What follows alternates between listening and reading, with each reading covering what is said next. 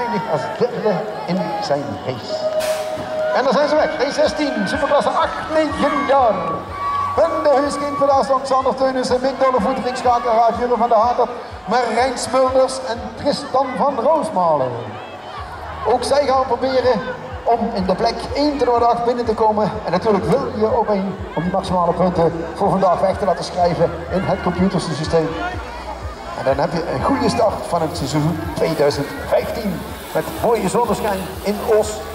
Vlak bij de IJzeren Man, hier op het hoekje. 147, Ben de Heus op nummer 1.